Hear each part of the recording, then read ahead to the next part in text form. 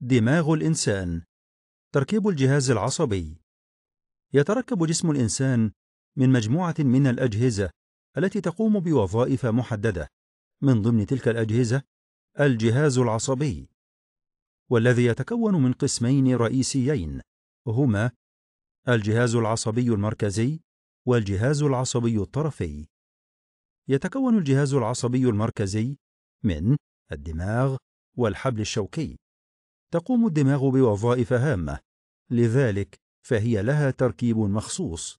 هيا لنتعرف عليه. تركيب دماغ الإنسان. تتواجد الدماغ داخل الجمجمة والتي وظيفتها دعم وحماية الدماغ. تتركب الدماغ من ستة أجزاء رئيسية هي المخ والمخيخ والدماغ البيني والدماغ المتوسط والجسر والنخاع المستطيل. أما هذا الجزء ككل فيسمى جذع المخ ويضم في تركيبه النخاع المستطيل والجسر والدماغ المتوسط. والآن سنبدأ بالتعرف على الأجزاء المكونة للدماغ. ولنبدأ بالمخ. تركيب دماغ الإنسان.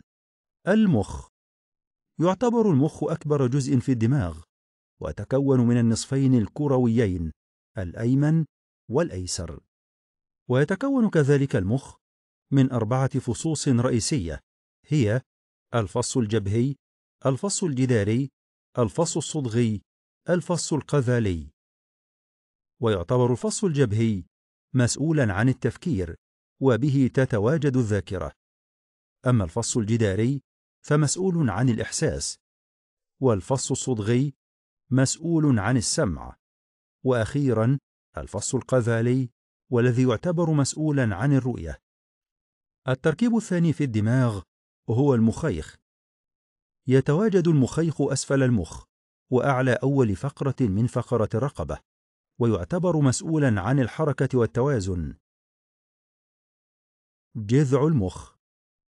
ذكرنا أن جذع المخ يضم التراكيب الثلاثة الدماغ المتوسط والجسر والنخاع المستطيل وهو المسؤول عن عدة وظائف هامة منها تنظيم الرسائل بين المخ وجميع أجزاء الجسم ومسؤول أيضا عن تنظيم العمليات الحيوية مثل التنفس وضربات القلب.